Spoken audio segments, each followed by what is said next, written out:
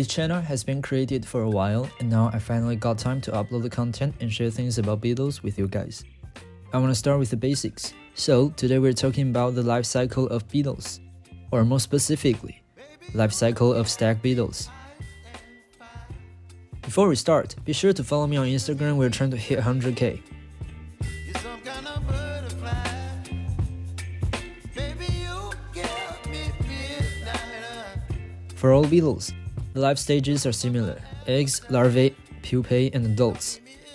But the time they spend on each stage could be very different. Let's take my personal favorite Dorcus titanus yasuokai for example. First starts with eggs. Larvae hatched around a month after their mother laid eggs in wood or sawdust. We call these tiny babies L1, which stands for first instar larvae. Unlike the body, scopes of larvae are exoskeletons, that is to say, they're unable to expand or shrink and limit the growth of larvae. Therefore, larvae cast their old skins off when they absorb enough nutrition and develop bigger scopes. L1 molt and become L2 in about a month. One month after turning L2, they enter the last and longest larvae stage of beetles, L3. After 6 to 8 months, the skins of the larvae turn from white to a bit yellowy, and they will start making their pupa chambers. They usually make pupa chambers along hard surfaces like the inner side of the containers, so you can easily spot the pupa chamber when larvae start making them. When the pupal chambers are done, their legs and mandibles started to be paralyzed. This is called the prepupal stage. Pupae are developing under the skins of prepupae. Around a month later is the pupation.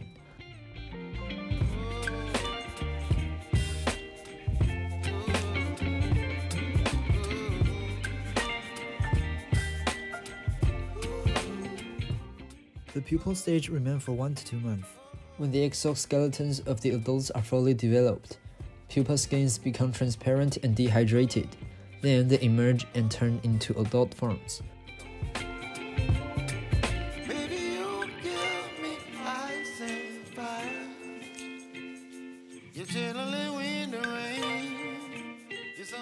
But the inner organs need more time to be fully developed.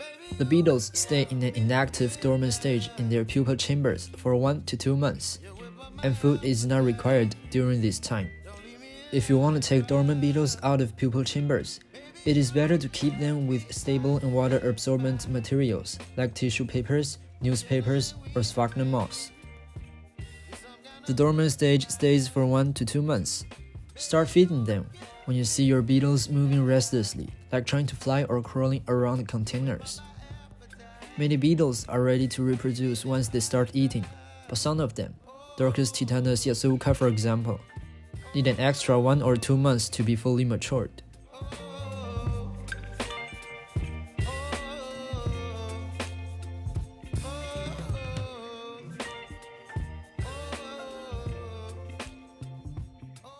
That is the end of this video. Subscribe and tell me about your favorite beetle in the comment and you might show up on this channel someday.